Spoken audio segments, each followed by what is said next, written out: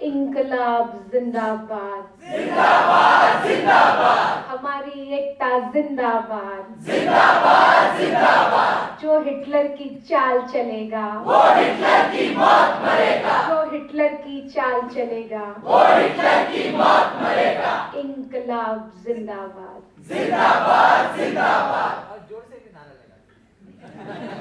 वो भी मैं लास्ट में लगाने वाली हूँ। सभागार में उपस्थित सभी लोगों को मेरा क्रांतिकारी सलाम। सबसे पहले तो मैं लोकायत को और अभिव्यक्ति को बहुत धन्यवाद देना चाहती हूँ कि आप लोगों ने मुझे यहाँ पे बोलने का मौका दिया। क्योंकि पुणे की ऐतिहासिक धरती पर बोलना अपने आप में एक ऐसा अनुभव है और पुणे के बारे में और महाराष्ट्र का जो इतिहास है, उसके बारे में हम लोग पढ़ते थे। और, मुझे नहीं मालूम था कि एक दिन इसी धरती पे खड़े होकर सावित्रीबाई फुले, जिन्होंने पूरे देश को दिशा दी, महिला शिक्षा को दिशा दी,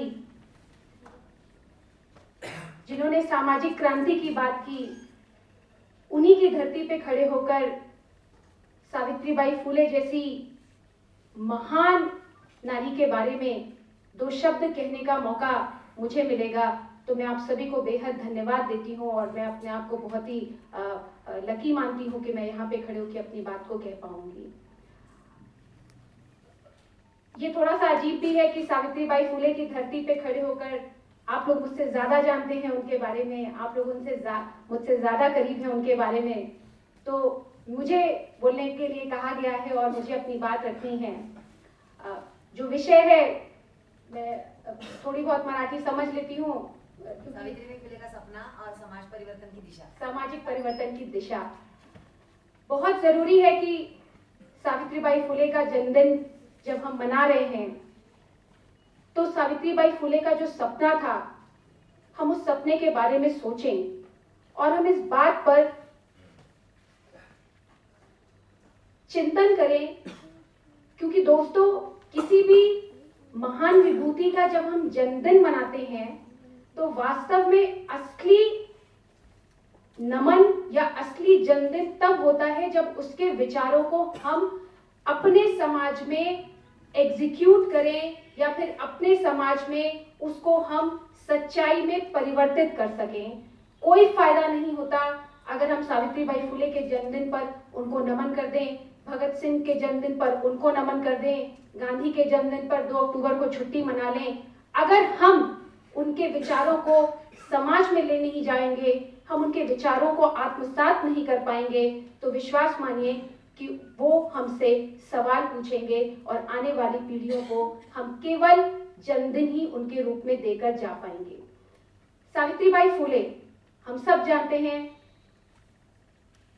कि सावित्रीबाई फुले देश की पहली महिला शिक्षिका थी। और ये इस देश का दुर्भाग्य है कि सावित्रीबाई फुले देश की पहली शिक्ष, महिला शिक्षिका होने के बावजूद हमारे देश में जो शिक्षक दिवस है वो सावित्रीबाई फुले के नाम से नहीं मनाया जाता है। उसके पीछे भी शायद हमारे समाज का जातिगत अपने आप में कई कारण हैं। कि सर्वपल्ली डॉक्टर राधाकृष्णन के जन्म दिवस को तो हम लोग शिक्षक दिवस के रूप में मनाते हैं लेकिन सावित्रीबाई फुले जो कि पहली महिला शिक्षिका थी और एक दलित परिवार से आती थी जिनके नाम पर इस देश के शिक्षक दिवस को मनाया जाना चाहिए था, लेकिन हम शायद उसको याद भी नहीं लोग करते हैं। सावित्रीबाई फुले की जब हम लोग बात करते हैं, शायद महाराष्ट्र में तो आप लोग ज़्यादा जानते हैं, लेकिन जो महाराष्ट्र के बाहर का पूरा समाज है, वो इसी रूप में मुख्य रूप से उनको जानता है कि वो ज्योतिबा फुले की पत्नी थी और जो उससे थोड़ा ज़्यादा जानता है, वो कहता है कि हाँ वो पहली महिला शिक्षिका थी। लेकिन इससे भी इतर सावित्रीबाई फुले अपने आप में एक आंदोलन थी। सावित्रीबाई फुले अपने आप में एक संघर्षशील नेत्री थी और ऐसे समय में 18वीं सदी में जब महिलाएँ घरों के बाहर नहीं निकलती थीं, तब उन्होंने न सिर्फ़ घरों के, घर के बाहर वो निकली, बल्कि उन्होंने ज्योतिबा फुले के साथ मिलकर स्कूल खोला और लड़कियों को शिक्षा देना शुरू किया। मैं सावित्रीबाई फुले के बारे में पढ़ रही थी। तो मुझे भी जानने का मौका मिला कि जब वो स्कूल में पढ़ाने जाती थी और जब वो अपने घर के रास्ते से गुजरा करती थी तो जो समाज के लोग थे, वो उनको रोकने के लिए उनके ऊपर पत्थर, कीचड़ और गोबर फेंका करते थे। और उसके बावजूद उनके कदम कभी रुके नहीं, बल्कि उन्होंने खड़े होकर समाज को जवाब दिया कि आपके इन पत्थरों को, आपके इन कीचड़ को मैं आत्मसात करती हूँ क्योंकि मैं समाज के कीचड़ को साफ़ करने का काम करने जा रही हूँ। एक दिन ऐसा भी आया कि जब वो स्कूल के रास्ते में जा रही थी तो एक बड़े ही बलशाली पुरुष ने उनको रास्ते में रोक लिया और उनके सामने वो जाकर खड़ा हो गया। और सावित्री बाई फुले ने बड़ी ही निगाहों से उसको घूरा और उसको एक जोरदार थप्पड़ मारा। और वो जोरदार थप्पड़ केवल उस व्यक्ति को नहीं था बल्कि समाज की पितृ सत्तात्मक सोच को था और उसके बाद से लोगों ने सावित्री बाई फुले का विरोध करना सामाजिक रूप से, प्रत्यक्ष रूप से बंद कर दिया। साथियों, आप सोचिए कि 18वीं सदी, फूले का बाहर निकलना और समाज के एक पुरुष पर एक थप्पड़ मारना। थप्पड़ मारने को हम लोग इस व्यवस्था पे थप्पड़ मारने की तरह से देखें। ये किसी एक पुरुष पे थप्पड़ नहीं था एक व्यवस्था पर थप्पड़ था। और उस समाज में जब महिलाएँ निकला नहीं करती थी, बोला नहीं करती थी, तब इतने बड़े स्टैंड को लेना, ये अपने आप में एक सामाजिक क्रांति थी। हम लोग जब भी सावित्रीबाई फुले की बात करते हैं तो सोचते हैं कि हाँ सावित्रीबाई फुले चूँकि पहली महिला शिक्षिका थी, वो सभी महिलाओं को शिक्षित करना चाहती थी। तो इस लिहाज से अगर देखा जाए तो आज तो पूरे देश में महिला शिक्षा आ चुकी है। और महिला, महिलाओं का एक बहुत बड़ा हिस्सा शिक्षित होने लगा है। शायद गाँव का भी कोई एक परिवार अब ये नहीं कहता कि हम अपनी बच्चियों को या अपनी लड़कियों को नहीं पढ़ाएँगे। पढ़ाएँगे। इसलिए पढ़ाएँगे ताकि उसे एक अच्छा लड़का मिल जाए। इसलिए पढ़ाएँगे ताकि उसकी शादी आसानी से हो जाए, कक्षा पाँच तक तो पढ़ा ही देंगे। लेकिन साथियों, हमें सोचना होगा, जब हम सावित्रीबाई फुले का जन्म दिवस मना रहे हैं, उनको नमन करने के लिए, उनकी सीख को याद करने के लिए जब हम इकट्ठा हुए हैं तो हमें सोचना होगा कि क्या सावित्रीबाई फुले ने इसी शिक्षा का, इसी तरीके के समाज की परिकल्पना की थी? क्या वो यही चाहती थी? क्या एक ऐसी शिक्षा जो डिग्रियाँ बांटती है? क्या एक ऐसी शिक्षा जो डिग्रियों से सिर्फ़ नौकरी तक का सफ़र तय करवाती है? या फिर एक ऐसी शिक्षा की वो बात करती थी जिसमें सामाजिक क्रांति की बात थी जिसमें समाज की जो रूढ़ियाँ हैं, जो समाज की जातिगत और लिंग के अंतर हैं, उनको तोड़ने के लिए उन्होंने सामाजिक क्रांति और शिक्षा की बात की थी। हमें समझना होगा, यहाँ पे ज़्यादातर युवा हैं। हम युवा साथियों को सोचना होगा। बाबा साहब अंबेडकर ने भी कहा था कि अगर हम सिर्फ़ डिग्रियों की शिक्षा ले रहे हैं तो हम शिक्षित नहीं हैं। शिक्षित वो इंसान है जो व्यवस्था पे सवाल करना जानता हो, जो आलोचना करना जानता हो, जो सवाल उठाना जानता हो। और आप देखिए कि वर्तमान समय और विशेषकर पिछले ढाई साल से जो देश में समय है, अगर आप सवाल उठाते हैं तो आपके मुँह को बंद कर दिया जाता है। आप सवाल उठाते हैं तो आपके अस्तित्व को खतरे में डाल दिया जाता है। आप सवाल उठाते हैं तो आपकी अभिव्यक्ति की स्वतंत्रता को छीन लिया जाता है। लेकिन बावजूद उसके हम अपने घरों में बैठकर हम लोग ये सोच रहे हैं कि नहीं नहीं, सब कुछ ठीक चल रहा है। साथियों, वर्तमान समय की अगर बात करें तो हमारे देश में एक इतनी बड़ी घटना घट जाती है डिमोनेटाइजेशन की। डिमोनेटाइजेशन कर दिया जाता है। एक दिन अचानक से प्रधानमंत्री जी टीवी की स्क्रीन पर आते हैं और कहते हैं कि साथियों, भाइयों, बहनों, मैं मिमिक्री नहीं कर पाती हूँ? और मैं करना भी नहीं चाहती उनकी। मित्रों, आज से सारे पुराने रुपए बंद हो रहे हैं। कोई भी पाँच सौ, हज़ार की नोट नहीं चलेगी, क्योंकि हम काले धन को वापस लाना चाहते हैं। हम स्विस बैंकों से नहीं लाएँगे, वो एक अलग बात है। हम जो घरों में महिलाओं के पास उनकी छोटी छोटी संपत्ति रखी है, हम उसको काला बता देंगे। हम जो उन महिलाओं का असेट है हम उसको छीन लेंगे। हम जो परिवारों में पैसा है या जो मार्केट में रोज़गार है, हम उसको छीन लेंगे और हम कहेंगे कि हम तो काले धन को वापस लाने की बात कर रहे हैं। जबकि प्रधानमंत्री जी, हम लोग तो यही समझते रह गए कि आप पहले स्पष्ट तो करिए कि काला धन होता क्या है। क्या वो धन काला है जो घरों में रखा हुआ है या लोगों के पास है, या वो धन काला है जो अघोषित है, या फिर आपने उसके बाद काले पे से आप चले गए नीले और पीले पे और आपने कहा कि हम तो कैशलेस कार्ड बनाएँगे। तो साथियों डीमोनेटाइजेशन जैसी इतनी बड़ी घटना हो जाती है, लेकिन हमारा देश ये हमें सोचना होगा कि हम सड़कों पर नहीं उतरते हैं और हम इस डीमोनेटाइजेशन की इतनी बड़ी घटना को अपने घरों के अंदर बैठकर ही उसको स्वीकार कर लेते हैं। बहुत हुआ तो किसी ने थोड़ी बहुत उसकी आलोचना फेसबुक पर कर दी ज़्यादातर लोगों ने तो ये मान लिया कि ये तो देश के हित में हो रहा है। और देखिए कि कितनी खूबसूरती से डीमोनेटाइजेशन को राष्ट्रवाद से और नेशनलिज्म से और देश हित से जोड़ दिया जाता है और हम उसे स्वीकार भी कर लेते हैं। हम नहीं पूछते और हमारे देश के प्रधानमंत्री जी कहते हैं कि अगर 100-200 जाने चली भी जाती हैं तो कोई बात नहीं है, क्योंकि आप तो ये देश के लिए अपनी कुर्बानी दे रहे हैं। और हम उनसे ये सवाल यहाँ से पूछना चाहते हैं कि डीमोनेटाइजेशन के लिए अगर उन्होंने कुर्बानी दी थी तो आपने उन्हें शहादत का दर्जा क्यों नहीं दिया? अगर डीमोनेटाइजेशन के लिए उन्होंने कुर्बानी दी थी तो उन शहीदों को आपने कॉम्पनसेशन क्यों नहीं दिया? पाँच पाँच करोड़ रुपया, क्योंकि उन्होंने तो देश के लिए शहादत दी थी। साथियों हमें पूछना होगा उनसे लेकिन हमने सवाल नहीं खड़े किए। शायद कहीं छोटे मोटे सवाल उठे लेकिन वो भी शांत हो गए। और जहाँ नहीं हो रहे थे, उन्होंने रोज अपनी उलझुल बातों से और रोज नए नए तरीकों से लोगों का मुँह बंद करवाने की कोशिश की। साथियों, अगर पिछले दो साल में आप लोग थोड़ा सा ध्यान देंगे, सारे युवा साथी हैं। विश्वास मानिए, युवाओं के ऊपर सबसे बड़ा संकट है। हम लोगों ने इस बात को अपने अपने कैंपसेस में अनुभव किया फील किया कि सबसे बड़ा जो संकट आया है, वो युवाओं पर आया है। आप ये देखिए कि मैडम ईरानी आती हैं और अचानक से कहती हैं कि यूजीसी के फेलोशिप को बंद कर दिया जाएगा। आप किस देश के विकास की बात कर रहे हैं, जहाँ पे शिक्षा पे खर्च होने वाला बजट बढ़ना चाहिए था तो आपने कहा कि हम तो फेलोशिप को भी बंद कर देंगे। आप ये देखिए कि कोई एक कैंपस नहीं एफटीआईआई पुणे से शुरू होता है, पेरियार स्टडी सर्किल मद्रास तक, चेन्नई तक जाता है, उसके बाद हैदराबाद जेएनयू, इलाहाबाद, बीएचयू, जम्मू कश्मीर, पूरे देश की हर यूनिवर्सिटी में सवाल खड़े करने वाले छात्रों के ऊपर यूनिवर्सिटी एडमिनिस्ट्रेशन नहीं, बल्कि मानव संसाधन विकास मंत्रालय सीधे नज़र रखकर उनके ऊपर कार्रवाई करने की तैयारियाँ कर रहा था। और सवाल पूछने वाले छात्रों को सीधे ये कह दिया जा रहा था कि आपके एडमिशंस को कैंसिल कर दिया जाएगा या फिर आपके भविष्य को बर्बाद कर दिया जाएगा। और विश्वास मानिए साथियों, ये कुछ लीडर साथियों की समस्या नहीं थी।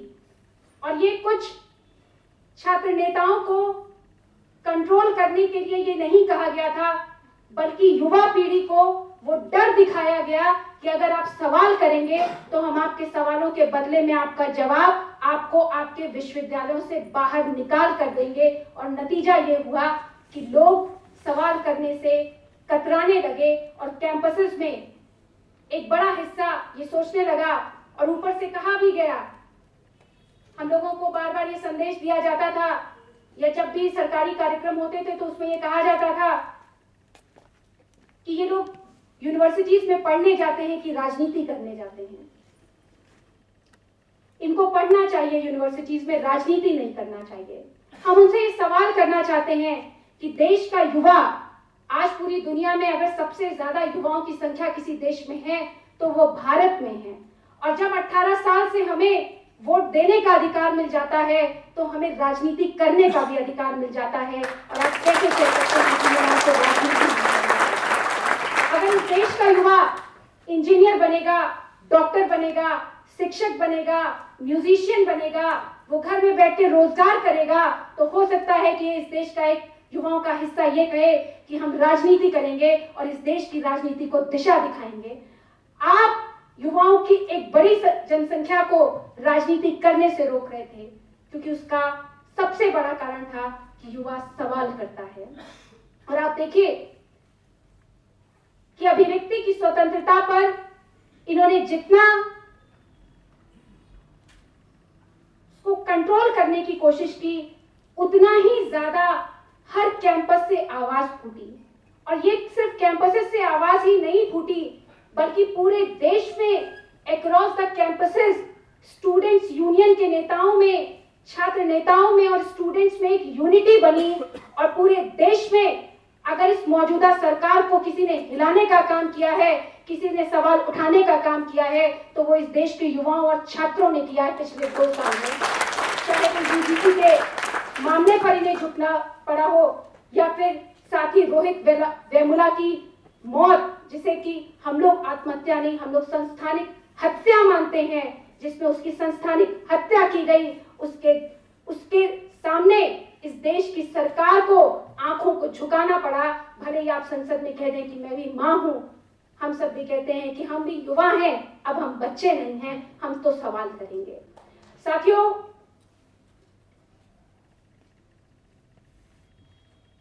सावित्रीबाई फुले जिस तरीके की शिक्षा की बात करती थी, आज बहुत ज़रूरी है कि हम इस बात की ओर ध्यान दें कि हम क्या समाज को बदलने की शिक्षा ले रहे हैं और क्या ये शिक्षा जो हमें स्कूलों में दी जा रही है, जिसमें जाति और धर्म और लिंग के अंतरों को वैसे का वैसा ही बना कर रखा गया है या वो जो शिक्षा जो हमें विश्वविद्यालयों में दी जा रही है, डिग्री के रूप में बांटी जा रही है, क्या वो हमें सवाल करने की आज़ादी दे रही है?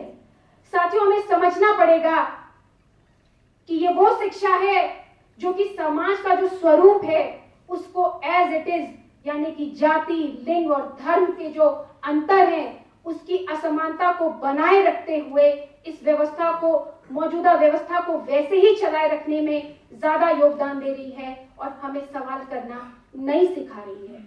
साथियों, हम जब भी छोटे छोटे हम लोग इलाहाबाद में कई स्टडी सर्कल करते हैं, हम लोग देश के भी कई हिस्सों में स्टडी सर्कल में शामिल हुए और एक बात तो तय और साफ़ निकल कर आई कि अगर हम इस मौजूदा व्यवस्था पर सवाल नहीं करेंगे, हम इसकी आलोचनात्मक इनसे सवाल नहीं करेंगे तो ये व्यवस्था हमको लील जाएगी और हमारा भविष्य खतरे में पड़ जाएगा।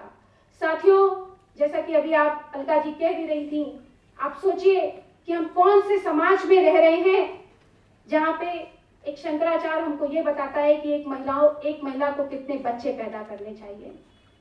इस देश में योगी आदित्यनाथ ये बताता है कि अगर कोई मुस्लिम महिला कबर में है तो उसका निकाल कर बलात्कार कर दो।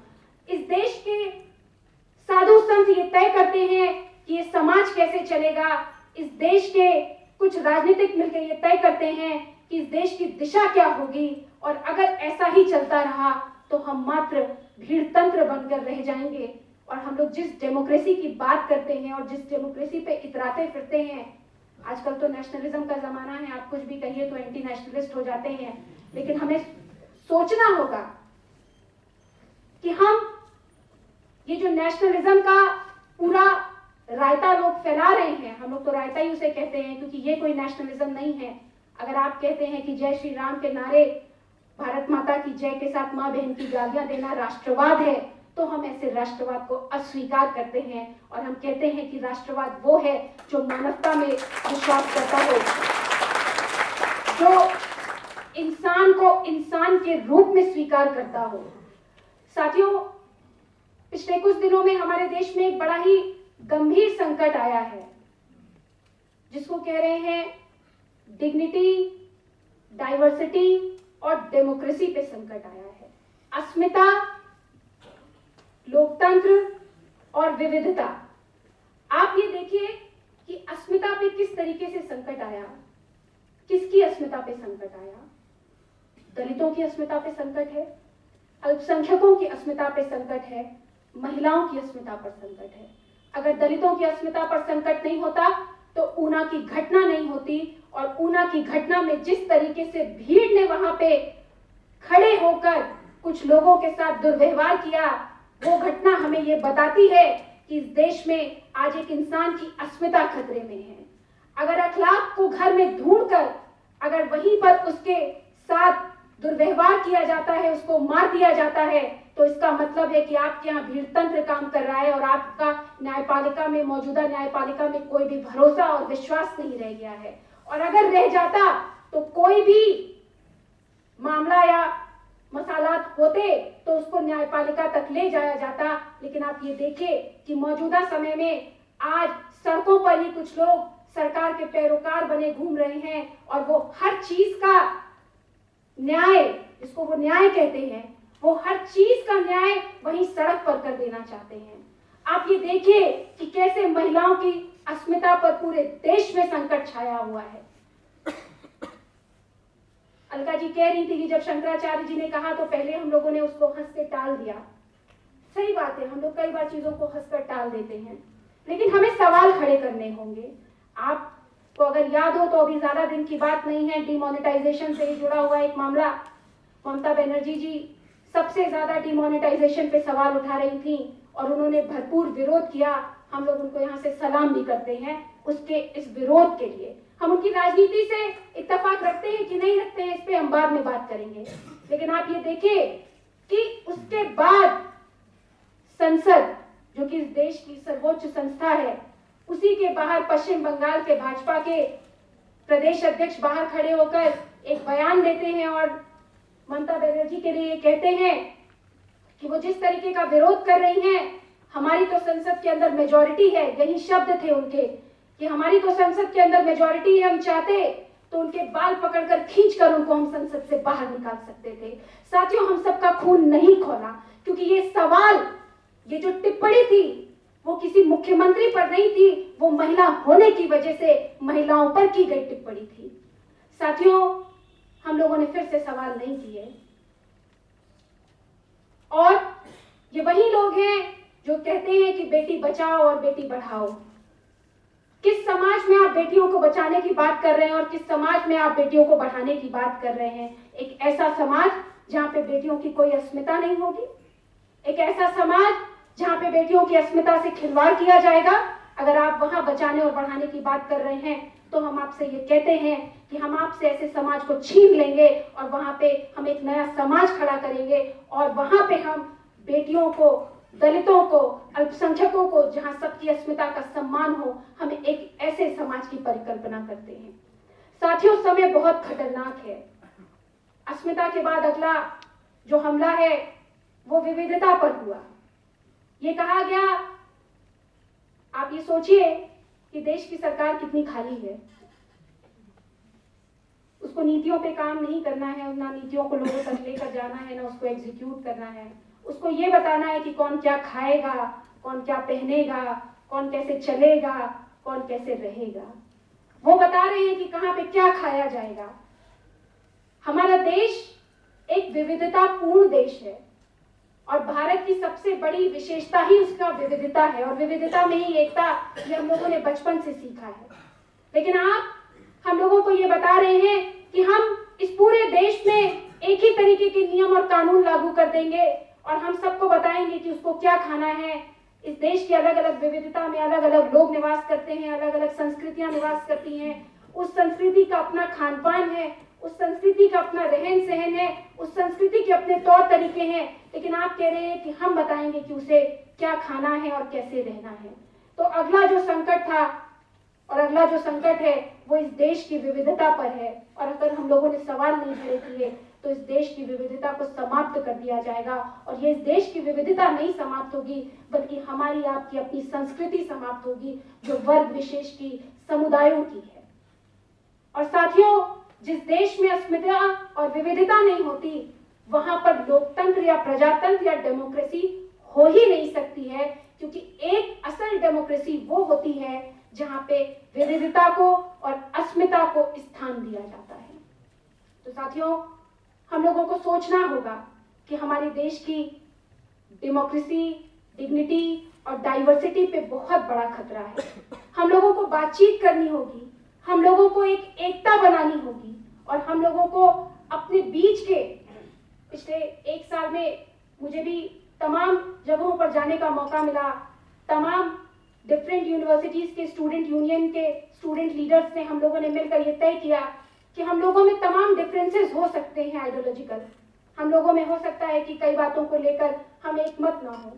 लेकिन अभी उन सारे डिफरेंसेस को एक साइड में रखकर हम लोगों को जो देश के नेशनल इश्यूज़ हैं, जो हमारे ऊपर खतरा पैदा कर रहे हैं, उन पर हमें एकजुट होना होगा और उन पर हमें एकजुट होकर एक स्टैंड लेना होगा और इस देश की डेमोक्रेसी डाइवर्सिटी और डिग्निटी को बचाने की हमें लड़ाई लड़नी पड़ेगी।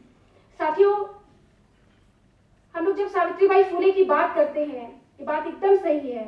आज आप सब यहाँ बैठे हैं, मैं यहाँ खड़े होकर बोल पा रही हूँ। तो शायद सावित्रीबाई फुले की वजह से हम लोग ये कर पा रहे हैं। लेकिन हम लोग इस बात को सोच कर देखें कि उनके सपने को अभी बहुत दूर ले जाने की ज़रूरत है।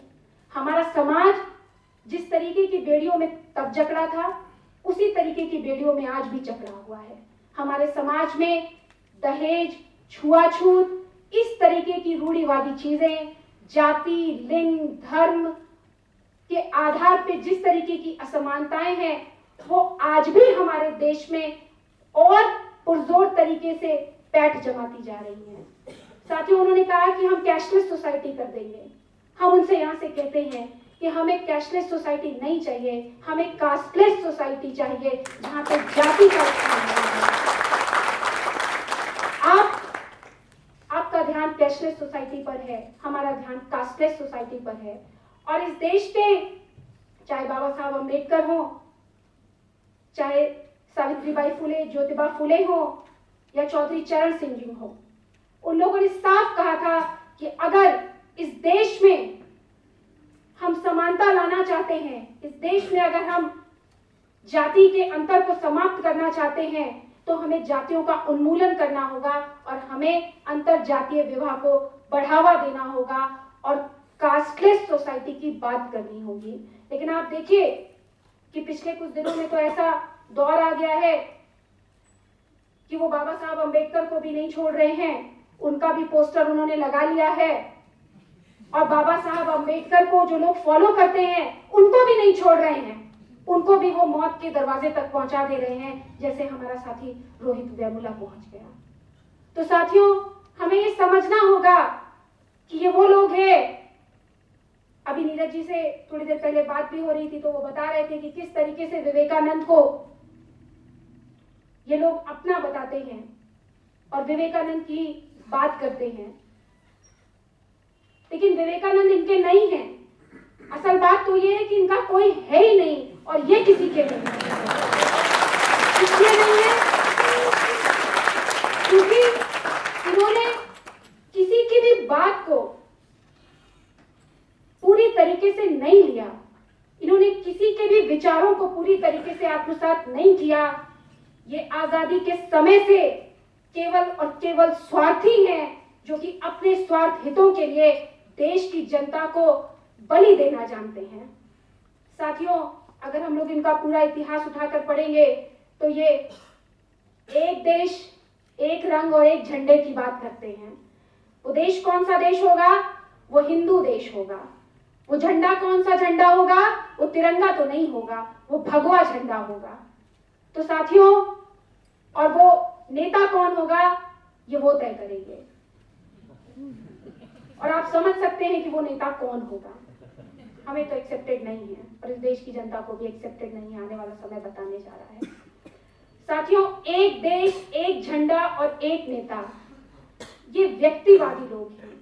ये डेमोक्रेसी में ये इस देश के प्रजातंत्र में यकीन नहीं करते हैं, और अगर शायद प्रजातंत्र में यकीन करते तो ये डीमोनेटाइजेशन जैसी जो हरकत हुई है देश में, वो नहीं होती, और उसका जितना बुरा प्रभाव पड़ने जा रहा है पूरे देश के ऊपर, आपने डेली वेजेस पे चलने वाले मजदूरों को, असंगठित क्षेत्र में काम करने वाले लोगों को, और सबसे ज़्यादा असंगठित क्षेत्र में काम करने वाली महिलाएँ हैं आपने सबके जीवन को ताक पे रख दिया है और आने वाले समय में हमारी इकोनॉमी का इतना बड़ा नुकसान होने जा रहा है कि उसकी भरपाई करते करते एक लंबा समय बीत जाएगा, लेकिन हम लोग उसकी भरपाई नहीं कर पाएँगे। और ये बात भी एकदम स्पष्ट रूप से खुलकर आ चुकी है कि देश हित में इनकी कोई भी मंशा नहीं थी इस देश को काला धन भी खत्म करना इनकी कोई मंशा नहीं थी, बल्कि जो विदेशी कंपनियाँ हैं उसकी पैठ को भारत में बढ़ाना इनकी असल मंशा है। साथियों, आने वाला समय अगर हम लोगों ने सवाल नहीं किया, क्रांतिबाई ज्योतिबा फुले, सावित्रीबाई फुले सावित्रीबाई फुले को क्रांति ज्योति इसीलिए कहा जाता था क्योंकि वो देश में क्रांति की बात करती थी जिसकी, जिसका रास्ता शिक्षा से होकर जाता था। और लेकिन हम अगर इस समाज में देखें तो शिक्षा तो सबको मिल गई, लेकिन सवाल करने का अधिकार हमें नहीं मिला। अपनी तरह से जीवन जीने का अधिकार हमें नहीं मिला। जाति और धर्म और जेंडर के जो असमानताएँ हैं, उससे हमारा देश अभी उबर कर नहीं आ सका है, बल्कि वो बेड़ियाँ इस समाज में और मज़बूत होती जा रही हैं। हमें बदलना होगा इस समाज को। हमें सवाल खड़े करने होंगे। हम महिलाओं की ज़िम्मेदारी और भी ज़्यादा बन जाती है, क्योंकि अगर अठारह में सावित्रीबाई फुले अपनी काव्य संग्रह को अगर प्रकाशित कर सकती हैं, उस वक्त सावित्रीबाई फुले एक महान शिक्षिका ही नहीं थी, एक महान नारीवादी ही नहीं थी, बल्कि एक आधुनिक क्रांतिकारी कवित्री भी थी। और अठारह में उन्होंने अपनी काव्य संग्रह को प्रकाशित कर दिया। जबकि महिलाओं का बाहर निकलना भी मना था। अगर अठारह में वो वो कर सकती हैं तो हम युवा जो 21वीं सदी की दुहाई देते, दम भरते नहीं सकते हैं तो हम अपने देश में जो ये जाति की व्यवस्था है, इसका उन्मूलन क्यों नहीं कर सकते हैं? हमें सवाल बेहतर करना होगा और हमें देश की सरकारों से ये सवाल पूछना होगा। साथियों आपको कुछ बातें बताना चाहती हूँ। इलाहाबाद विश्वविद्यालय के मेरे कुछ अनुभव है जो आप लोगों से साझा करना चाहती हूँ। इलाहाबाद विश्वविद्यालय में जब हम लोगों ने चुनाव लड़ने का सोचा, इलाहाबाद यूनिवर्सिटी 1884 में स्टैब्लिश हुई थी। 128 साल हो चुके हैं उस विश्वविद्यालय को स्थापित हुए। और हम लोगों के सामने एक बड़ा सवाल था कि इलाहाबाद विश्वविद्यालय में 128 साल में एक भी महिला अध्यक्ष क्यों नहीं? और ये किसका हाल था? ये इस देश के विश्वविद्यालय का हाल था। आप ये सोचिए, जहाँ पे हम पढ़ाई की बात कर रहे हैं और ये पढ़ाई हमें समानता की ओर ले जाती है और कौन सी समानता? जिसमें एक सौ अट्ठाइस साल में एक भी महिला अध्यक्ष नहीं हुई। थी वो छात्र राजनीति में नहीं होगी। हम लोगों को ये सवाल बहुत कठोरता था। हम लोगों ने ये तय किया कि हम लोग छात्र राजनीति में हस्तक्षेप करेंगे और कोशिश करेंगे कि वहाँ पे महिलाओं का स्थान हो। मैंने जब चुनाव लड़ने की सोची तो लोग एक ही बात कहा करते थे कि कौन वो बेवकूफ़ लड़की है जो इलाहाबाद विश्वविद्यालय में छात्र संघ अध्यक्ष का चुनाव लड़ने चली हमारी हिम्मतों को बार बार तोड़ने का प्रयास किया गया, लेकिन हम लोग गए लोगों के बीच में, हम लोग गए स्टूडेंट्स के बीच में, और हमने उनसे एक बात कही कि आप महिला होने के नाते मुझे कतई वोट मत करिएगा, मैं सिंपैथी वोट किसी से नहीं मांगने आई हूँ। आप हमें आकिए और ये देखिए कि आपके मुद्दों पे हम बात कर पा रहे हैं और उसे बेहतर तर्कशील बात तर्कों के आधार पर अगर हम कर पा रहे हैं और आपके मुद्दों पर लड़ने की अगर हम शक्ति रखते हैं तो महिला होने के आधार पर हमारे वोट को काटिएगा भी मत। अगर आप ये करेंगे, तब हम इस विश्वविद्यालय में एक स्वस्थ राजनीति को खड़ा कर पाएँगे। तो साथियों, यकीन हम लोगों ने की कि महिला होने के आधार पर हमें वोट नहीं चाहिए, लेकिन कम से कम हमें समाज से इस विश्वविद्यालय से, जो कि उच्च शिक्षा का गढ़ कहलाता है, हम उससे इतनी तो उम्मीद करते ही हैं कि महिला होने के नाते आप हमारा वोट काटेंगे भी नहीं। और साथियों, हमारे साथियों ने हम लोगों के ऊपर भरोसा जताया। और सिर्फ़ लड़कियों ने ही नहीं, इलाहाबाद विश्वविद्यालय में छात्रों की संख्या छब्बीस हज़ार है। ट्वेंटी सिक्स थाउज़ेंड स्टूडेंट्स हैं हमारी यूनिवर्सिटी में। और सिर्फ़ लड़कियों ने ही नहीं, बल्कि लड़कियों से ज़्यादा वोट हमें लड़कों ने किया। और हम लोगों को इतिहास बनाने का मौका मिले।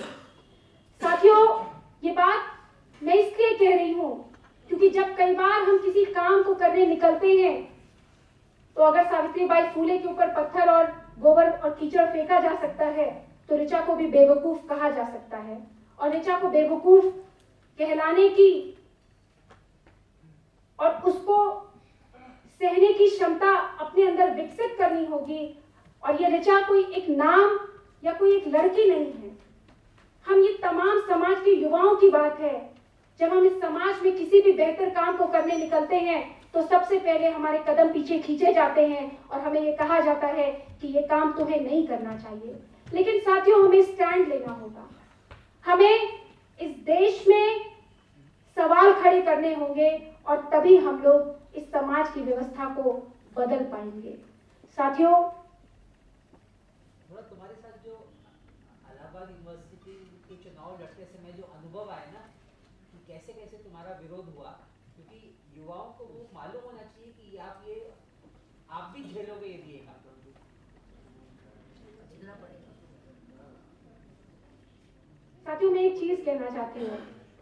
मैं पढ़ना सीख रही हूँ। मैं पढ़ना सीख रही हूँ ताकि मैं अपने अधिकारों का हिसाब रख। मैं पढ़ना इसलिए नहीं सीख रही हूँ कि मैं और हम लोगों ने इसी बात को अपने विश्वविद्यालय में भी फैलाने की कोशिश की। साथियों धीरज जी कह रहे हैं, बिल्कुल मैं आपसे अनुभव साझा करना चाहती हूँ, क्योंकि हमारे तमाम युवा साथी हैं और अभी ये भी पता चला मुझे कि शायद आप लोगों के यहाँ भी विश्वविद्यालय में यूनिवर्सिटीज में यूनियन के इलेक्शन शुरू होने जा रहे हैं। हम लोगों ने जब ये फैसला किया कि इंडिपेंडेंट रूप से इलेक्शन लड़ेंगे और यूनियन में इसलिए आएँगे क्योंकि हमारे यहाँ जिस तरीके की यूनियन है स्टूडेंट यूनियन वो मनी पावर और मसल पावर यानी कि धनबल और बाहुबल की यूनियन है। क्योंकि पूरा जो यूपी का एकदम खाटी पॉलिटिक्स है, वो इलाहाबाद यूनिवर्सिटी की पॉलिटिक्स को रिफ्लेक्ट करता है। और वो उस तरीके की पॉलिटिक्स है जहाँ पे स्पष्ट रूप से कास्ट के आधार पर, जाति के आधार पर और धनबल और बाहुबल की राजनीति होती है। और आप जानते हैं कि धनबल और बाहुबल शक्ति का प्रतीक होता है और शक्ति के दायरे में कभी भी महिलाएँ नहीं आती हैं। तो शक्ति के दायरे से या सत्ता के दायरे से हमेशा महिलाओं को अलग और बाहर रखा जाता है। हम लोगों ने भी जब ये तय किया कि हम लोग स्टूडेंट यूनियन का इलेक्शन लड़ेंगे, तमाम तरीके से हम लोगों का विरोध किया गया। हम लोगों को ये बताया गया कि आपको ये इलेक्शन नहीं लड़ना चाहिए, क्योंकि ये तो कोई बहुत ही खराब बात है। लड़कियाँ इलेक्शन नहीं लड़ती हैं और अगर आप इलेक्शन लड़ेंगे तो हम लोगों को धमकियाँ भी दी गई। वही धमकियाँ जो किसी भी लड़की को दी जाती है कि आपके साथ फलाने तरीके का व्यवहार कर दिया जाएगा, फलाने तरीके का दुर्व्यवहार कर दिया जाएगा, अगर आप स्टूडेंट यूनियन में पार्टिसिपेट करेंगे या चुनाव लड़ेंगे। फिर हम लोगों से यह भी कहा गया कि क्या क्या मुद्दे हैं आप लोगों के? स्टूडेंट्स ने भी सवाल पूछा। हम लोगों को कई तरीके के लालच भी दिए गए। कि आप लोग कुछ भी करिए, लेकिन छात्र संघ में आने की ज़रूरत नहीं है। लेकिन साथियों, हम लोगों ने यह तय किया कि हम लोग छात्र संघ में भागीदारी करेंगे और हम लोग छात्र संघ में अपनी हिस्सेदारी करेंगे। और आप ये, आपको ये जानकर बहुत आश्चर्य होगा कि इलाहाबाद विश्वविद्यालय का जो छात्र संघ का यूनियन का ऑफ़िस है, वहाँ से सामने लड़कियाँ निकला नहीं करती थी, लेकिन एक वो भी दौर आया कि जब लड़कियों ने निकली, लड़कियाँ अपने हॉस्टल से निकली और छात्र संघ भवन को जाकर उन्होंने कैप्चर कर लिया और वहाँ से एक नारा दिया गया कि आधी वहाँ से एक नारा दिया गया कि आदि आबादी का नारा है। आदि आबादी है महिलाएँ, आदि आबादी का नारा है छात्र संघ हमारा है। और साथियों दौरान हम लोगों से बहुत से सवाल पूछे गए। जाति का सवाल पूछा गया कि जाति स्पष्ट करिए कि आप कौन सी जाति से आते हैं? हम लोगों ने उस सवाल को भी लिया और हम लोगों ने कहा कि हम लोगों की जो पब्लिक मीटिंग होती है क्वालिफाइंग स्पीच होती है, हम वहाँ मन से बताएँगे कि हमारी जाति क्या है। और हम लोगों ने ऊपर जाके कहा कि हमारी जाति सिर्फ़ और सिर्फ़ छात्र होना है, इसके सिवा हमारी कोई जाति नहीं है। साथियों, हमारे साथियों ने हम लोगों के ऊपर यकीन करके हम लोगों को मौका दिया, क्योंकि हम लोगों ने उनके सामने एक मॉडल रखा और उनसे कहा कि हम लोगों के पास क्रांति का कोई मॉडल नहीं है, लेकिन हम लोगों के पास क्रिएटिविटी का मॉडल है और हम लोग विश्वविद्यालय की जो छात्र राजनीति है, उसमें एक नई तरीके की क्रिएटिविटी को लेकर आएँगे और स्टूडेंट्स के मुद्दों पर, जिसमें लाइब्रेरी का मास- मसला होगा, जिसमें मेस का मसला होगा, जिसमें कन्वेंस की सुविधा क्यों नहीं है, जिसमें जेंडर इश्यूज़ क्यों है कैंपस के अंदर, हम लोग इस पर बातचीत करेंगे और इन मुद्दों पर काम करेंगे। हम लोगों के साथियों ने हम लोगों को मौका दिया और 128 साल में मुझे चुनकर आने का भी मौका मिला। लेकिन साथियों, ये लड़ाई सिर्फ़ इलेक्शन जीतने की लड़ाई नहीं थी। असली लड़ाई तो इलेक्शन जीतने के बाद शुरू हुई, जब मेरी ही यूनियन में मुझे छोड़कर मैं एक इंडिपेंडेंट कैंडिडेट थी। समाजवादी छात्र सभा ने हमको समर्थन दिया था और भी तमाम एसएफआई के साथियों ने भी हम लोगों को समर्थन दिया था। लेकिन मुझे छोड़कर जो बाकी चार ऑफ़िस के यूनियन बेयरर्स थे ऑफ़िस बेयरर्स थे, वो सभी एबीवीपी से आते थे। और जब ये रिज़ल्ट आया तो एक तरफ़ तो इतिहास बना, लेकिन दूसरी तरफ़ एबीवीपी ने इस बात को भी सेलिब्रेट किया कि हम तो चार हैं और पांचवी यानी कि अध्यक्ष तो लड़की है, क्योंकि लड़की के होने का कोई मतलब नहीं होता तो इसका मतलब है कि पूरी यूनियन तो हमारी यूनियन है। और उसका असर हम लोगों को एक महीने बाद देखने को मिला, जब हमारे विश्वविद्यालय में स्टूडेंट यूनियन का इनॉग्रेशन किया जाता है, यानी कि उसका उद्घाटन होता है। और उस उद्घाटन में आप सोचिए कि इलाहाबाद विश्वविद्यालय, जो कि उच्च शिक्षण संस्थान है यूनिवर्सिटी है एकेडमिक्स करने की जगह है, वहाँ पर एबीवीपी के लोगों ने मुख्य अतिथि के तौर पर योगी आदित्यनाथ को बुलाया और कहा कि हम लोग तो योगी आदित्यनाथ से इस विश्वविद्यालय की यूनियन का इनोग्रेशन करवाएँगे। साथ ही उन्होंने हमसे पूछने की भी ज़रूरत नहीं समझी। इसलिए नहीं समझी, क्योंकि उनको लगता था कि अध्यक्ष तो है, लेकिन एक महिला अध्यक्ष और महिला अध्यक्ष, महिला है, इसका मतलब है कि कोई अधिकार इसके पास नहीं और हमें इनसे पूछने की ज़रूरत नहीं है। वो हमको आए, हमारे ही नाम का कार्ड अपने आप से छपा कर ले प्रिंट कराकर वो लेकर आए, जिसमें, क्योंकि हमारी ही यूनियन का एक और ट्रेडिशन है, ये हम लोगों की परंपरा है कि यूनियन के इनोग्रेशन को प्रेसाइड प्रेसिडेंट ही करता है, अध्यक्ष ही करता है। और आप सोचिए कि मुझे कार्ड मिलता है जिसमें मेरे प्रेसाइड में नाम पड़ा होता है और मुझसे ये कहा जाता है कि आपको आना है प्रेसाइड करने। जब मैंने उनसे ये पूछा कि ये तय करने का अधिकार कि कौन उद्घाटन करेगा, ये तो स्टूडेंट यूनियन के प्रेसिडेंट को और अध्यक्ष को है तो उन्होंने कहा कि देखिए, अब तो हम लोगों ने तय कर लिया और आपको आना है। साथियों, ये लड़ाई वहीं से शुरू हुई। क्योंकि ये लड़ाई दो स्तरों पे थी। एक तो आपने एक सांप्रदायिक व्यक्ति को, एक सांप्रदायिक, सांप्रदायिकता को फैलाने वाले इंसान को योगी आदित्यनाथ जैसे व्यक्ति को कैंपस में बुलाने का काम किया।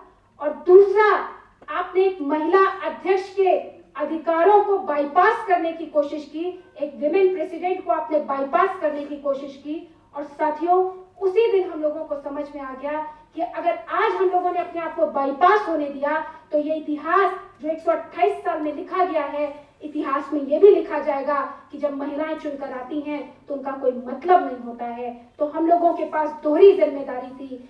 एक तो सांप्रदायिक व्यक्ति को रोकना और दूसरा महिला अध्यक्ष के रूप में अपने अधिकारों पर हम लोगों ने आवाज़ उठाई और अपने अधिकारों को हम लोगों ने छीना। हम लोगों ने उनसे कहा कि आपको हम इलाहाबाद यूनिवर्सिटी में इस सांप्रदायिक व्यक्ति को नहीं बुलाने देंगे। उन लोगों ने हम लोगों से पूछा कि आप क्या करेंगी? तो हमने कहा कि हम विरोध करेंगे। तो लोगों ने हंस के कहा अच्छा विरोध करेंगी? बड़ा ही अजीब माहौल था। तो हम लोगों ने कहा कि बिल्कुल विरोध करेंगे और डेमोक्रेटिक विरोध करेंगे। तो उन्होंने कहा कि ठीक है। और विश्वविद्यालय में तैयारियाँ की जाने लगी। हमारे मना करने के बावजूद हमारे परमिशन ना देने के बावजूद ये तय किया गया, विश्वविद्यालय में एक बड़ा सा मंच सजने लगा, जो कि भगवा कलर का मंच था, जिसमें योगी आदित्यनाथ के साथ साथ उसी इलाहाबाद की अलग अलग कॉन्स्टिट्युएंसीज के पाँच एमपीज को भी बुलाया गया, जिसमें हमारे जो उत्तर प्रदेश के प्रदेश अध्यक्ष जी हैं, वो भी हैं, क्योंकि वो इलाहाबाद की कॉन्स्टिट्युएंसी को रिप्रेजेंट करते हैं। इन सबको बुलाया गया और हम लोगों ने ये तय कर लिया था कि सांप्रदायिक ताकतों को हम लोग कैंपस के अंदर नहीं आने देंगे। इसलिए नहीं आने देंगे साथियों, क्योंकि इलाहाबाद विश्वविद्यालय किसी छात्र यूनियन का या कुछ पदाधिकारियों का विश्वविद्यालय नहीं है, बल्कि ये छब्बीस हज़ार स्टूडेंट्स का विद्यालय है, जिसमें अलग अलग जाति, अलग धर्म, अलग लिंग के लोग पढ़ते हैं और अध्यक्ष होने के नाते ये मेरी ज़िम्मेदारी बनती है कि मैं अपने सभी साथियों की भावनाओं का आदर कर सकूँ और उनकी भावनाओं का ख्याल रख सकूँ। हम लोगों ने ये तय किया और हम लोगों ने उनसे ये कहा कि अगर हमारे अल्पसंख्यक छात्रों के हितों का खिलवाड़ होगा, उनकी भावनाओं से अगर कैंपस के अंदर खेला जाएगा तो हम लोग इसको बर्दाश्त नहीं करेंगे और इसको लेकर हम लोग भूख हड़ताल पे यूनियन इलाहाबाद विश्वविद्यालय के मेन गेट पर धरने पर बैठे और उस धरने में हम लोगों के साथ एबीवीपी के लोगों ने शायद ये इंसिडेंट नहीं होता तो मैं भी कभी भी अखिल भारतीय विद्यार्थी परिषद की आइडियोलॉजी को और अखिल भारतीय विद्यार्थी परिषद की सच्चाई को नहीं समझ पाती। और ये वो सच्चाई थी जहाँ पे जब लड़कियाँ धरने पर बैठी थी तो जय श्री राम और भारत माता की जय बोला जा रहा था और साथ ही साथ लड़कियाँ और माँ बहनों की गाली भी दी जा रही थी। तब हम लोगों को समझ में आया कि इनका राष्ट्रवाद, इनका असल राष्ट्रवाद जिसकी ये बात करते हैं, वो तो ये है, जिसमें भारत माता की जय और जय श्री राम के नारे के साथ आप माँ बहन की गालियाँ देते हैं। आप और विश्वास मानिए साथियों, ये तो राम के भी नहीं है। अगर ये राम के होते तो ये कभी राम के नाम का दुरुपयोग नहीं करते। राम के नाम के साथ ये कभी भी माँ बहन की गालियाँ नहीं देते।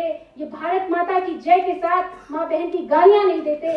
ना तो ये राम के हैं, ना ये भारत माता के हैं, बल्कि ये एक विशेष रेडिकल अतिवादी संगठन है, जो कि केवल अपने हितों को साधना जानते हैं और सबको किसी भी आधार पर ये मानने को तैयार नहीं है। साथियों, हम लोग धरने पर बैठे, रात साढ़े बारह बजा, हम लोगों के ऊपर पचास से साठ एबीवीपी के गुंडों ने हमला कर दिया और उसमें हमारे बहुत से साथियों को चोट भी आई और स्थिति ऐसी बन गई थी कि शायद एक थोड़ी और देर होती तो शायद एक आध साथियों की जान भी जा सकती थी। लेकिन साथियों, हम लोगों से तब भी कहा गया कि अब आप लोग उठ जाइए, अब आप लोग हट जाइए।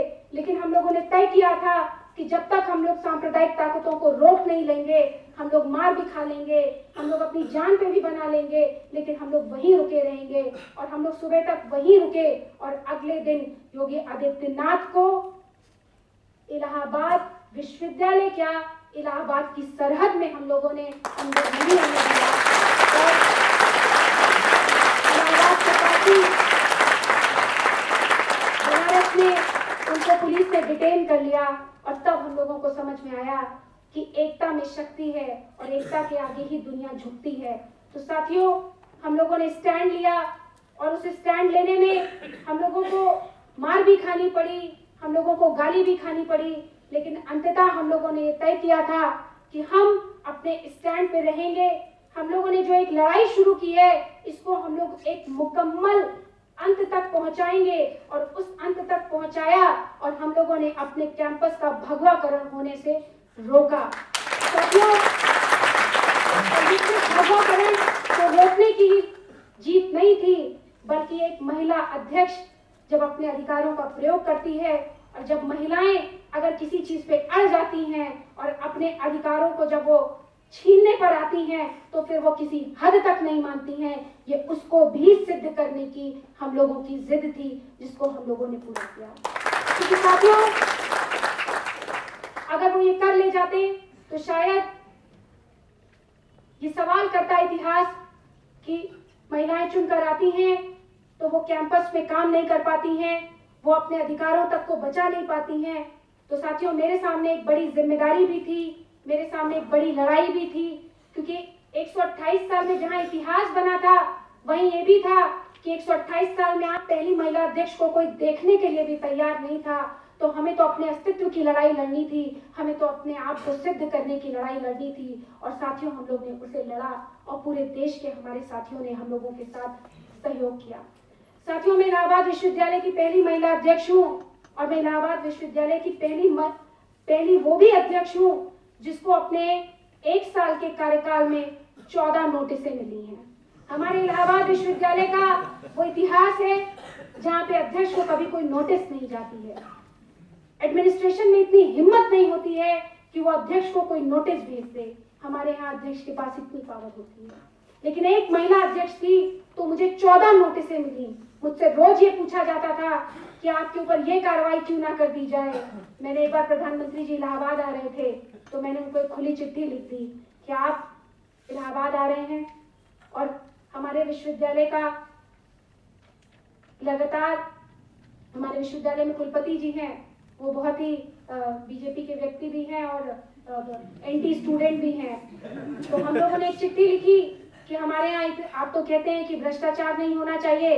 ये देखिए, ये भ्रष्टाचार के सारे पेपर से हमारे यहाँ तो इस तरीके से करप्शन हो रहा है। आप कहते हैं कि बेटी बचाओ और बेटी बढ़ाओ, हमारे कैंपस में तो महिलाएँ सुरक्षित नहीं हैं। तो प्रधानमंत्री जी आप आ रहे हैं तो हम आपसे इन सवालों का जवाब मांगते हैं और ये कहते हुए मैंने एक खुली चिट्ठी लिख दी और वो पर्चे पूरे शहर में बढ़ गए। अगले दिन मुझे एक और नोटिस मिली कि आपने प्रधानमंत्री को चिट्ठी कैसे लिखी आप ये सोचिए कि जिस देश में डेमोक्रेसी है और मैं खुली चिट्ठी लिख रही हूँ बंद चिट्ठी भी नहीं लिख रही हूँ कि उसके अंदर पता नहीं क्या होगा। मैं खुली चिट्ठी लिख रही हूँ और मुझे विश्वविद्यालय के वाइस चांसलर ने नोटिस थमा दी कि बताइए कि आपके ऊपर डिसिप्लिनरी एक्शन क्यों ना ले लिया जाए, क्योंकि आपने प्रधानमंत्री जी को खुली चिट्ठी लिखी हमने जब योगी आदित्यनाथ को रोका तो उसके अगले दिन आप ये सोचिए कि मारपीट हम लोगों के साथ होती है कैंपस के अंदर। कैंपस की ये जिम्मेवारी बनती थी कि वो महिला अध्यक्ष को या तमाम लड़कियों और लड़कियों को सुरक्षा उत्पन्न कराए, उपलब्ध कराए।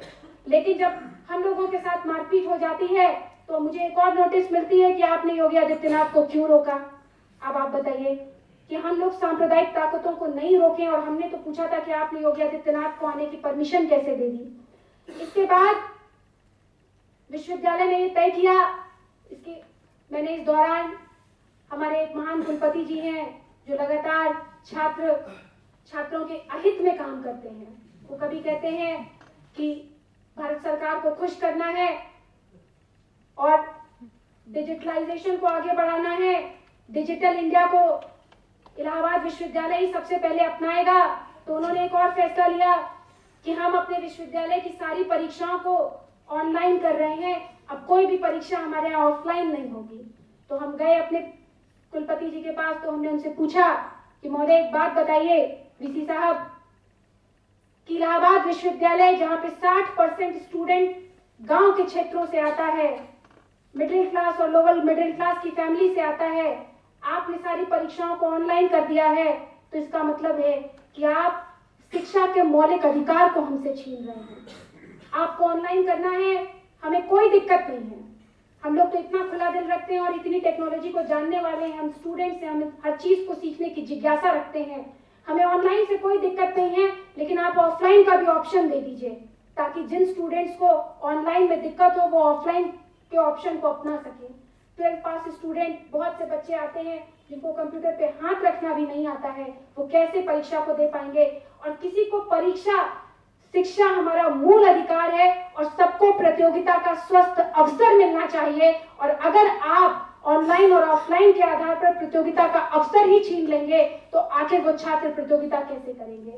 उन्होंने मुझे एक और नोटिस दे दी कि अगर आपने अपने इस चिट्ठी को वापस नहीं लिया, मैंने चिट्ठी एमएचआरडी को भी भेजी और मैंने उनसे पूछा, मैडम ईरानी, आप बताइए क्या आप क्या कंप्यूटर से परीक्षा दे सकती हैं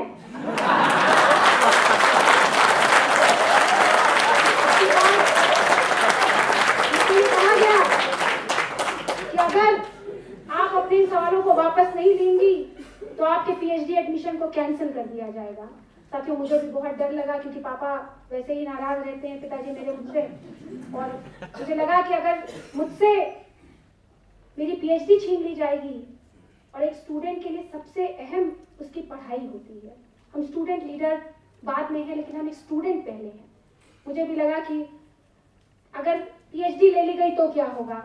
तो उन्होंने, फिर मुझे समझ में आया कि अगर मैं एक स्टूडेंट हूँ और अगर मैं एक साफ़ सुथरी प्रक्रिया से आई हूँ तो मेरे अंदर इतनी हिम्मत होनी चाहिए कि मैं इनसे ये पूछूँ कि आप मेरा पीएचडी का एडमिशन आखिर ले कैसे लेंगे और उसको कैंसिल कैसे कर देंगे। हम लोगों ने वही किया। हम लोगों ने नेगोशिएट नहीं किया। हम लोग धरने पर बैठे, हम लोग भूख हड़ताल पर बैठे। आठ दिन की भूख हड़ताल हुई और कुलपति ने ये कह दिया था वीसी ने कि हम ऑनलाइन और ऑफलाइन को वापस नहीं लेंगे। सारी प्रवेश परीक्षाएँ ऑनलाइन ही होंगी। आप लोग चाहे जो कर ले। आठ दिन के बाद, नौवे दिन ये मामला संसद में उठा और मैडम ईरानी को वहाँ से इस बात का जवाब देना पड़ा कि, रिचा, आप उठिए। हम लोग अपने इस फैसले को वापस ले रहे हैं और सारी परीक्षा को ऑनलाइन ये जीत नहीं थी। ये हम लोगों को एक सबक था कि अगर हम अपनी लड़ाई नहीं लड़ेंगे तो हम लोग अपने अधिकारों से वंचित कर दिए जाएँगे। और ये बात मैं आपको इसलिए नहीं बता रही हूँ कि ये कोई गाथा है। ये बात इसलिए हम लोग आपसे साझा करना चाहते हैं, क्योंकि अगर हम नहीं लड़ेंगे तो हमसे हमारे जीवन जीने के अधिकार को, हमसे हमारी पढ़ाई करने के अधिकार को, हमसे हम अपने धर्म को कैसे जिएँगे, हम अपनी ज़िंदगी को कैसे जिएँगे, लड़कियाँ क्या पहनेंगी, लड़के कैसे शादी करेंगे, हमसे इन सारे अधिकारों को छीन लिया जाएगा। और अगर हम लड़ेंगे तो अपने अधिकार छीनने वालों से हम लोग अपने अधिकार छीन रहेंगे इतना तो तय बात है साथियों। तो साथियों, मैं आप लोगों से यही कहना चाहती हूँ कि अगर हम सावित्रीबाई फुले के जन्म दिवस को मना रहे हैं तो हम लोग यहाँ से ये संकल्प लेकर जाएँ कि हम अपने समाज की रूढ़ियों को तोड़ने के लिए अपनी शिक्षा का उपयोग करेंगे। हम लोग अपनी शिक्षा से इस समाज में जो रूढ़ियाँ जो भ्रांतियाँ, जो इस समाज में असमानता है, हम उस असमानता को समाप्त करने का प्रयास करेंगे। तब हम लोग सही मायने में सावित्रीबाई फुले को, शायद उनके जन्मदिन को सही मायने में मना पाएँगे और सावित्रीबाई फुले के सपने को हम साकार कर पाएँगे। हम लोग सावित्री बाई फूले हमारी है, इस बात पे तो इतराते हैं, लेकिन सावित्री बाई फूले के सपने को पूरा करने के लिए आज का युवा समाज किस हद तक जा रहा है क्या हम धर्म और जाति की बेड़ियाँ तोड़ने के लिए तैयार हैं? क्या हम इस देश में एक इंसान की व्यवस्था बन सके जहाँ पे इंसान होने के नाते हमें अधिकार मिले? क्या हम इसकी लड़ाई लड़ने के लिए तैयार हैं? साथियों, सावित्रीबाई फुले एक महान नारीवादी थी। आजकल के समाज में और विशेषकर जो मौजूदा लोग हैं, नेता हैं, वो एक बात को नहीं कहते थकते हैं। और समाज में इसको भी कंफ्यूजन को भी बहुत फैलाया गया है। कि फेमिनिज्म या नारीवाद कोई एक ऐसा वाद है, मैं इस पर आपसे ज़रूर दो मिनट बात करना चाहती हूँ, क्योंकि तमाम हमारे पुरुष साथी हैं। ये कहा जाता है और इसको फैलाने की भी कोशिश की जा रही है कि नारीवाद कोई एक ऐसा वाद है जो पुरुषों का विरोध करता है। साथियों, अगर आपके पास थोड़ा भी वक्त मिले तो आप लोग नारीवाद को पढ़कर देखिएगा। नारीवाद ही एक ऐसा वाद है जो महिलाओं के साथ साथ पुरुषों के अधिकार की बात करता है। इसलिए कहता है, कि एक महिला को तो अधिकार मिलना ही चाहिए, बल्कि हमको एक पुरुष को भी इंसान के बतौर देखा जाना चाहिए। उस, वही एक ऐसा वाद है, नारीवाद, जो ये कहता है कि एक पुरुष घर में भी बैठकर घर का काम देख सकता है, पुरुष को रोना भी आ सकता है। आप देखिए कि समाज में रोने को लेकर कितनी भ्रांतियाँ फैलाई गई हैं, कितनी हिपोक्रेसी है। लोग कहते हैं कि पुरुषों को और लड़कों को रोना नहीं चाहिए। पागल कर देंगे आप हमारे पुरुषों को? साइकोलॉजी कहती है कि एक इंसान अगर रोएगा नहीं तो वो पागल हो जाएगा। ये नारीवाद है जो ये कहता है कि एक पुरुष को भी उतना ही रोने का अधिकार है जितना एक महिला को रोने का अधिकार है। तो साथियों नारीवाद ही एक ऐसा वाद है और नारीवाद की भी ज़रूरत इस समाज में तब तक है जब तक कि हम ह्यूमन राइट्स को मानवाधिकारों को नहीं समझ रहे हैं। आप ये देखिए कि नारीवाद को लोग बहुत आलोचना करते हैं क्रिटिसाइज करते हैं। लेकिन आप में से कोई मुझे एक ऐसी बात बता दे नारीवाद की, जिसमें नारीवाद ये कहता हो कि हमको कोई ऐसा अधिकार चाहिए जो अपने आप में विशेषाधिकार हो। हम तो केवल समान, समानता का अधिकार मांग रहे हैं। हम तो केवल ये कह रहे हैं कि जेंडर के आधार पर किसी तरीके की गैर बराबरी नहीं होनी चाहिए। और ये तो मानवाधिकारों में आता है। और ज़रूरत इसलिए पड़ गई क्योंकि इस देश में जेंडर को लेके तमाम तरीके की असमानताएँ हैं, इसलिए नारीवाद की ज़रूरत पड़ी। और मैं तो ये कहती हूँ कि जो भी इंसान मानवाधिकारों में ह्यूमन राइट्स में बिलीव करता है, वो अपने आप फेमिनिज्म में बिलीव करता है और वो अपने आप में नारीवादी है, जो भी मानवाधिकारों को मानता है। साथियों थोड़ी सी बात, शिक्षा, मानवाधिकार, इससे आगे बढ़ते हुए एक बात और भी करनी ज़रूरी है। हम लोग छात्र राजनीति में हैं और छात्रों को आजकल राजनीति करने से मना किया जा रहा है। और विशेषकर आप ये देखिए कि महिलाओं को राजनीति करने से रोका जा रहा है। इस देश में महिलाओं, कितनी महिलाएँ राजनीति में हैं? हम लोग ये सवाल बार बार खड़ा करते हैं। आप ये देखिए कि इस समय पूरे देश में बार बार बात होती है महिला सशक्तिकरण की। पूरे देश में बड़े बड़े कार्यक्रमों का आयोजन किया जाता है और कहा जाता है कि महिला सशक्तिकरण का दौर चल रहा है। महिलाएँ सशक्त हो रही हैं। मुझे इस सशक्तिकरण से थोड़ी सी दिक्कत होती है। इसलिए होती है क्योंकि आप जिसे सशक्तिकरण कह रहे हैं, वो तो हमारे मूल अधिकार हैं। अगर आप कहते हैं कि महिलाएँ पढ़ रही हैं, इसलिए वो सशक्त हो रही हैं। महिलाएँ नौकरी कर रही हैं, इसलिए वो सशक्त हो रही हैं। पढ़ना, नौकरी करना तो हमारा मूल अधिकार है। ये कहाँ सशक्तिकरण है? सशक्तिकरण का रास्ता तो हम तब तय करेंगे जब इस सड़क पे चलने से पहले मुझे जेंडर के आधार पर मेरे साथ किसी तरीके का दुर्व्यवहार ना हो। जब इस देश की सर्वोच्च संस्थाओं में महिलाओं की बराबर की भागीदारी होगी। चाहे वो संसद हो, चाहे वो न्यायपालिका हो, चाहे वो इस देश की यूनिवर्सिटीज हो, चाहे वो इस देश की कंपनियाँ हो, चाहे वो इस देश के स्कूल हो, चाहे वो इस देश का सर्विस सेक्टर हो, जब उसमें महिलाओं की बराबर की भागीदारी होगी। राजनीति से लेकर हर हर संस्था में तब महिलाएँ सही मायने में सशक्त होगी। लेकिन आप देखिए कि सशक्तिकरण के भ्रम को कैसे फैलाया गया है। लोग तो महिला अध्ययन के छात्र हैं। हम लोग तो ये पूछते हैं कि आपने तो सशक्तिकरण को इतना कम में सीमित कर दिया। और एक बात और है साथियों 1975 के बाद से जब पूरे देश में, पूरे देश ही नहीं, पूरी दुनिया में महिला सशक्तिकरण की बात होने लगी तो ऐसा नहीं है कि इस दुनिया को, और एक बात और भी आपसे साझा करना चाहती हूँ साथियों की ये भारत ही नहीं, पूरे दुनिया में महिलाओं को सेकेंड सेक्स यानी कि दूसरे एक वीक सेक्स के रूप में ही जाना और पहचाना और माना जाता है। पूरी दुनिया में महिलाओं के साथ उत्पीड़न का एक इतिहास है। इस देश के इतिहास में हर जगह महिलाओं ने बढ़ चढ़कर हिस्सा लिया, लेकिन आप देश के इतिहास को खंगाल कर देख लीजिए तो आपको महिला नेता कहीं नहीं मिलेंगी, जबकि हर जगह महिलाओं ने कंधे से कंधा मिलाकर अपना साथ दिया है। तो साथियों, जब पचहत्तर के बाद पूरे देश में, पूरी दुनिया में महिला सशक्तिकरण की बात हो रही थी तो ऐसा नहीं है कि अचानक से सबको पूरी दुनिया को ये लगने लगा था कि महिलाओं को सशक्त किया जाना चाहिए। अचानक से महिलाओं के लिए आप लोगों के मन में, पूरी दुनिया के मन में, इस पितृ सत्तात्मक व्यवस्था के मन में कोई संवेदनशीलता जाग गई थी। उसका रीजन ये था, क्योंकि डेवलपमेंट के लिए, विकास के लिए ह्यूमन रिसोर्सेज की ज़रूरत है, मानव संसाधन की ज़रूरत है, और ये बात पूरी दुनिया को समझ में आ रही थी कि देश की किसी भी देश की आधी आबादी वहाँ की महिलाएँ हैं तो आधे मानव संसाधन को छोड़कर आप किसी भी देश का विकास नहीं हो सकता है। इसलिए महिलाओं की पढ़ाई और रोज़गार की बात शुरू हुई, क्योंकि किसी भी देश को विकास करना था। यह भी बात सही है कि उसने हम लोगों को अधिकार दिए उस प्रोसेस में। लेकिन आप ये देखिए कि उसके बाद क्या महिलाओं का उत्पीड़न वो खत्म हुआ?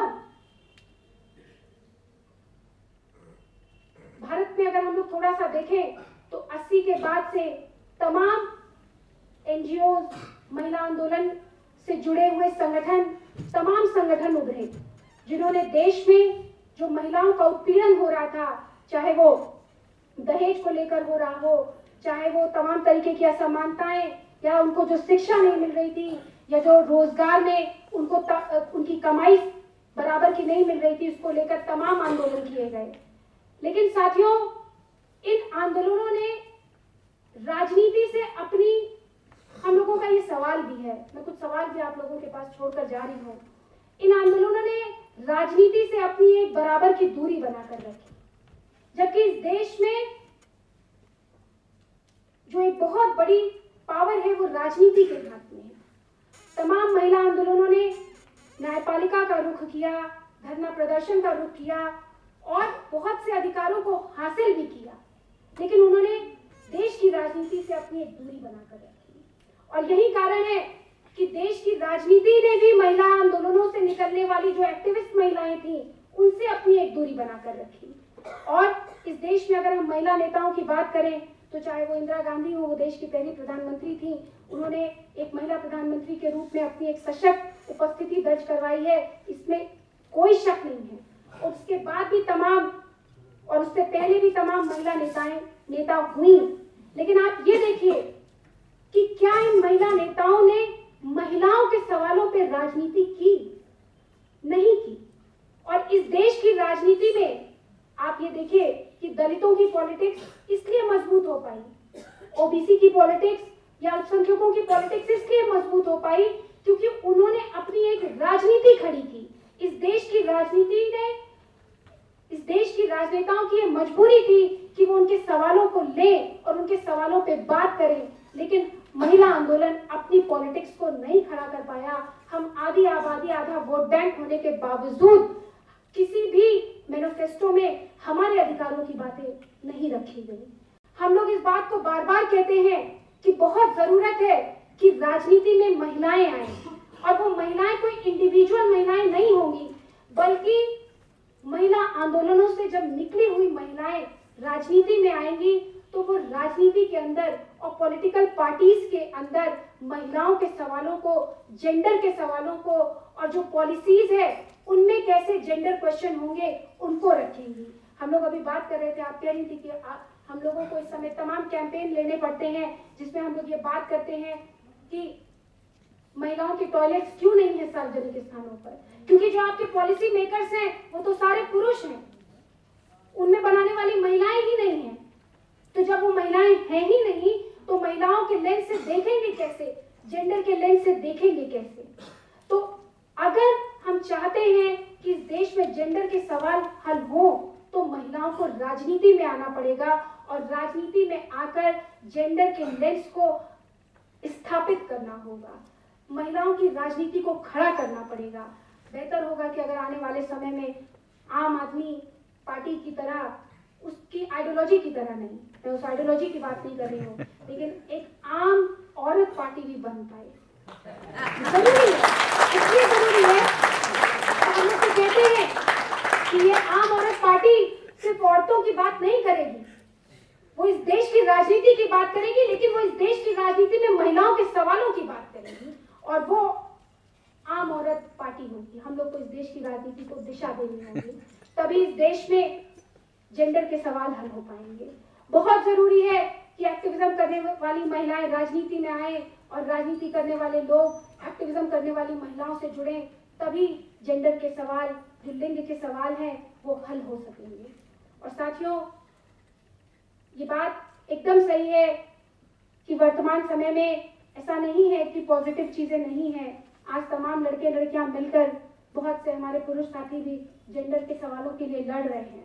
मुझे खुशी होती है जब मैं ये कहती हूँ, कहीं पे भी खड़े होकर कि मेरा इतिहास बनाने में जितना मेरा लड़कियों ने साथ दिया, उससे कहीं ज़्यादा लड़कों साथियों ने मेरा साथ दिया है। जब मार खाने की बारी आई है तो मेरे लड़के साथियों ने मुझसे पहले खड़े होकर मार खाई है। क्यों? क्योंकि हम एक बेहतर समाज बनाने की कोशिश कर रहे हैं। उसमें तमाम डिफरेंसेस होंगे। उसमें तमाम हम लोगों के बीच में जेंडर के लेवल पे भी तमाम डिफरेंसेस होंगे। लेकिन हम उनको हल करेंगे और हम उन पे एक दूसरे के साथ आगे बढ़ने की कोशिश करेंगे। आजकल यह देश में जो मौजूदा सरकार है उसके लिए हम लोग एक ही चीज़ कहते हैं कि हमने सुना है जिनको चुना है। हमने सुना है जिनको चुन, सुन, चुना है वो कहते हैं कि पूछना मना है। हम लोग उनको चुन कर लेकर आए हैं, लेकिन हम, हमें उनसे सवाल करने की आज़ादी नहीं है। लेकिन साथियों, हम लोगों को ज़्यादा से ज़्यादा सवाल इस सरकार से करने होंगे। देश में सत्रह में कई राज्यों के चुनाव हैं। उत्तर प्रदेश में भी चुनाव होने जा रहे हैं। हमारे यहाँ चुनाव की तिथियाँ भी आ चुकी हैं। और हम लोगों को मालूम है कि सत्रह का चुनाव कई मामलों में अहम है, क्योंकि हम लोगों के पास एक बहुत बड़ी ज़िम्मेदारी है, सांप्रदायिक ताकतों को रोकने की ज़िम्मेदारी। और वो ज़िम्मेदारी बिहार ने बखूबी निभा कर दिखाई है। और मैं आपको कहना चाहती हूँ, बताना चाहती हूँ कि ये जिम्मेवारी निभाने में बिहार में सबसे ज़्यादा युवाओं की और महिलाओं की भूमिका थी। इस बार महिलाओं का वोटिंग परसेंटेज बढ़ा था और महिलाओं ने मौजूदा सरकार को सिरे से खारिज किया था। और आने वाले सत्रह के चुनावों में भाजपा दो ही मुद्दों पर चुनाव लड़ने जा रही है, मज़हब पर और महिलाओं पर। वो महिलाओं की अस्मिता की बात करेंगे, वो महिलाओं की सुरक्षा के बड़े बड़े बोर्डिंग, होर्डिंग और बैनर लगाएँगे, लेकिन अपने ही देश, अपने ही उनका जब प्रदेश अध्यक्ष इस देश की एक महिला मुख्यमंत्री के बारे में सवाल करेगा और उसके लिए अपशब्द कहेगा तो माननीय प्रधानमंत्री जी, अपने मन की बात हम लोगों से नहीं कहेंगे कि उनको कितना तो हुआ, ये सुनकर हुआ भी कि नहीं हुआ, शायद नहीं होता है, इसलिए वो कुछ कहते नहीं है। और दूसरा मज़हब पर होगा, क्योंकि आने वाले समय में सांप्रदायिक ताकतों को फैलाने का प्रयास करेंगे और पूरे देश को दो धड़ों में बांटने की कोशिश करेंगे और हिंदू और मुसलमान करने की कोशिश करेंगे। लेकिन हम इस देश में डाइवर्सिटी में यकीन रखते हैं। हम लोगों ने ये बीड़ा उठाया है कि हम लोग सत्ता में पुरजोर प्रयास करेंगे और इन सांप्रदायिक शक्तियों को पूरे देश में पाँव नहीं पसारने देंगे। साथियों, सावित्रीबाई फूले, जो महान कवित्री, क्रांतिकारी थी महान नारीवादी महिला थी और सबसे ज़्यादा बढ़ चढ़कर वो आलोचना में और सवाल खड़े करने में यकीन रखती थी। और हम सबको यहाँ से और इस बात को लेकर जाना होगा कि हम ज़्यादा से ज़्यादा सवाल खड़े करें। आपस में भी सवाल खड़े करें, इस समाज से भी सवाल खड़े करें, अपनी मौजूदा सरकार से भी सवाल खड़े करें और उन सवालों को खड़े करने के बाद उनका हल ढूँढने के लिए भी हम सब एक साथ आए और देश में एक सांप्रदायिक ताकतों को कैसे रोका जा सके, इस देश में कैसे एक समानता का माहौल हो, जहाँ पे जाति, धर्म और लिंग के आधार पर किसी के भी साथ कोई असमानता ना हो, इसकी ज़िम्मेदारी हम युवाओं को उठानी होगी, क्योंकि इस समय देश में सबसे ज़्यादा जनसंख्या, और सिर्फ़ जनसंख्या ही नहीं, सबसे ज़्यादा युवा युवाओं की ऊर्जा है इस देश में और युवा ऊर्जा को इस देश को दिशा देनी होगी, वरना हम आलोचना करते रह जाएँगे। और आने वाला इतिहास हमारे बारे में भी लिखेगा। साथियों, हम भगत सिंह की बात करते हैं और तमाम हमारे पेरेंट्स भी यहाँ पे अभिभावक भी बैठे हैं। लेकिन जब भी भगत सिंह की बात आती है तो लोग कहते हैं कि भगत सिंह चंद्रशेखर आज़ाद। लेकिन भगत सिंह चंद्रशेखर आज़ाद सावित्रीबाई फूले रानी लक्ष्मीबाई, ये सब बगल के घरों में पैदा होने चाहिए। हमारे अपने घर में पैदा नहीं होने चाहिए। हमें सोच को और हमें इस मानसिकता को बदलना पड़ेगा। साथियों,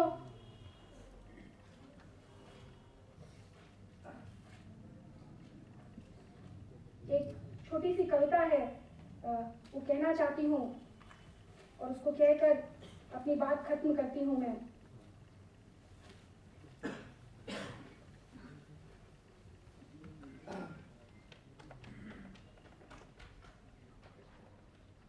हमें पहनने और रहने का सलीका सिखाने वालों, हमें पहनने और रहने का सलीका सिखाने वाले हमारे शुभ चिंतकों तुम ही बताना हमारे लिए क्या ऐसा कोई वस्त्र?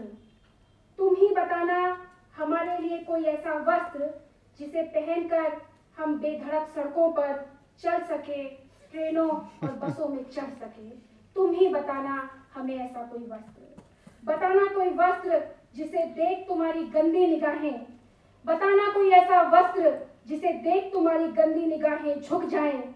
बताना ताकि बलात्कार ना हो। बताना किसी की कोई भी लड़की कभी भी सड़क पर निर्वस्त्र न फेंकी जाए। हमें